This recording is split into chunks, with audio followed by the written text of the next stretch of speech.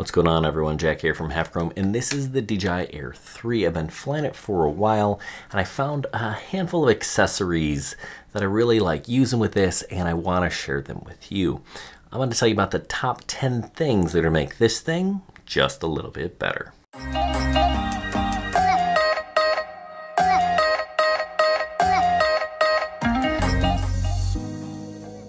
Now, so you know, all of the things I'm going to talk about have links down below, and they are affiliate links. They help support the channel, they don't cost you a thing, and it's an easy way for you to find them.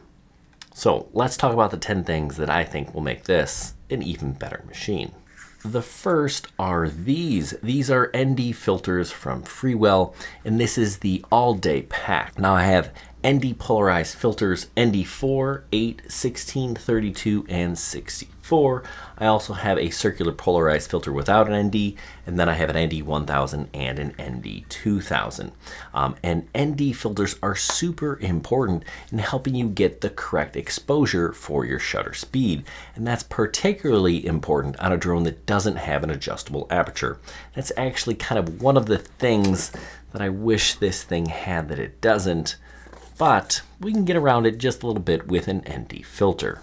I have done some videos on how they work and when to choose them, but I'll give you the quick rundown and you can take a look at this chart. So we're going to use an ND4 at dawn or dusk, ND8 on a cloudy day, uh, and ND16 and 32, those are really the two that I use the most, um, and they're going to be on partly cloudy to sunny days. An ND64 is reserved for a very bright day, and those 1000 and 2000s, those are really only going to be used uh, if I'm trying to do some long exposure photography. To choose the right ND filter, basically I'm going to take my frame rate. Now I usually shoot at 30 frames a second, and then I'm basically going to double that for for the shutter speed, so I'm to shoot at 1 60th.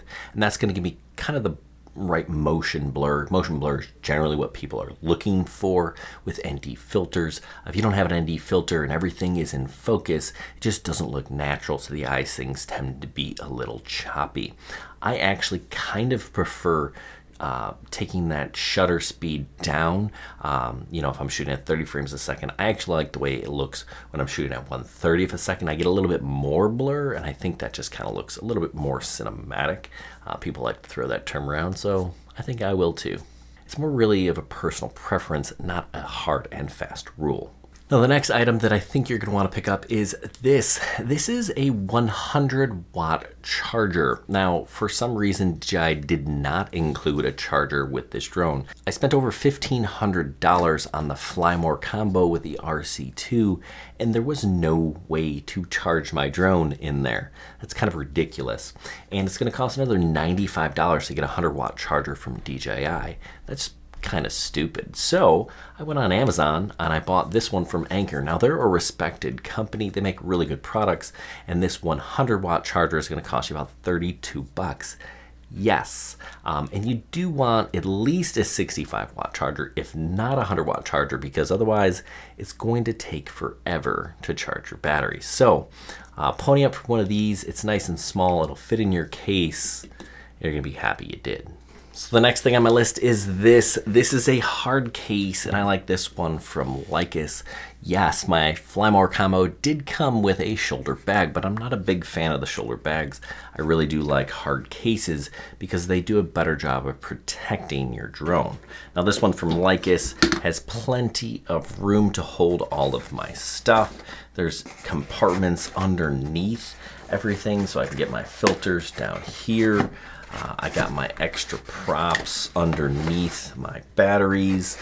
Uh, lots of space inside this case. Plus, plus it's waterproof, dustproof, and it's gonna float if I, you know, was to drop it in the water. So definitely some advantages to picking up a hard case. Now it does take up a little bit more space, but I'm definitely a fan of the hard cases. I keep all of my drones in there because at the end of the day, it does a better job of protecting this expensive investment. My next suggestion is something that's really small but super important, and you want to get the right SD card. Um, I've had a lot of success with these SanDisk Extremes, the gold and red ones, um, and you're definitely going to want something with a little bit more capacity. Um, I'd start at 64, 128, 256, 512, you know, a full terabyte Kind of depends on how much memory you need or want and your budget for these things. I find half of a terabyte is definitely more than good enough. Um, I can hold tons of storage on there. And generally, I'm saving it to my computer, but everyone has their own different process. Now this is another small but important accessory that you're gonna want for your drone. This is a strobe light. So if you're flying at night, this is required, right? You need something that can be seen for three statute miles. I've got this one, this is the Firehouse Arc 5. It's nice and small and compact. I usually put a piece of double-sided sticky tape right here and stick it to the top of the drone, uh, right kind of in between the eyes, right, the two sensors, and that does the job. There's a handful of different options out there, but make sure you get something small and compact so it's not going to add a whole lot of weight or wind resistance. Now the drone is great because these batteries seemingly last forever.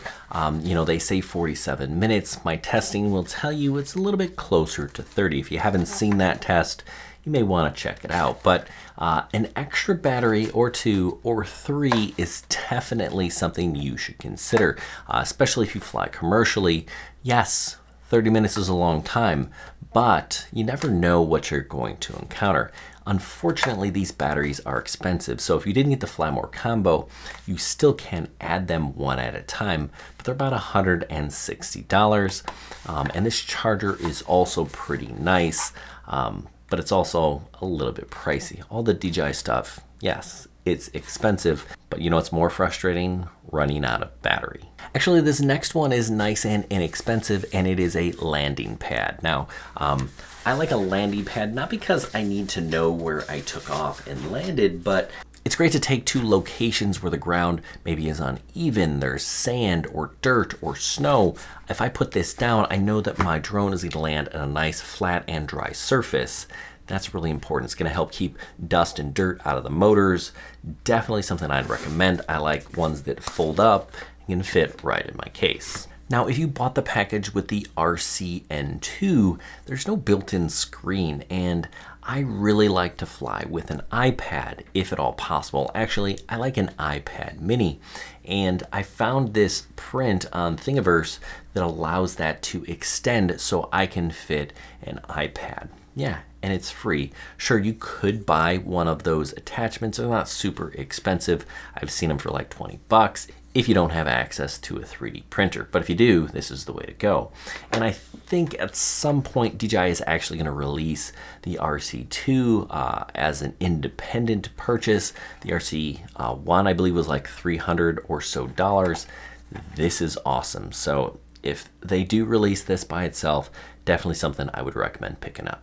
Okay, so this last item is not something you can buy, but it's something you have to earn, and it's your Part 107 license. Uh, if you want to fly a drone and make some money, whether it's shooting real estate, weddings, mapping, uh, even a YouTube channel, yes, you have to have one of these cards, and the only way to get it is to pass the Part 107 exam. Now, we have actually a handful of videos that are going to help you do it. I've got a walkthrough of the practice test um, that anybody can access, and also tips and tricks. Those are free videos for everybody, but for our Patreons, I have a whole series of videos that are to walk you through sectional charts and airport operations, all that fun stuff. So if you're thinking about going pro, you definitely need one of these. And if you are a pro, you're gonna want a backup drone. The last thing I'm gonna suggest is actually the Mini 3 Pro. If you're going on a commercial shoot, you're gonna wanna have a backup, and it's nice to have something that is small and compact. And this thing actually has a really good camera. It's a very similar 1 over 1.3 inch sensor. Yes, this small little drone is pretty darn impressive, and it makes the perfect backup drone to your Air 3. Anyway, I hope this was helpful. If, if it was, give us a thumbs up, leave a comment down below. And don't forget, if you're interested in any of these items, links down below where you can buy them or get more information. Anyway, I hope this was helpful. Good luck, everyone. Happy flying.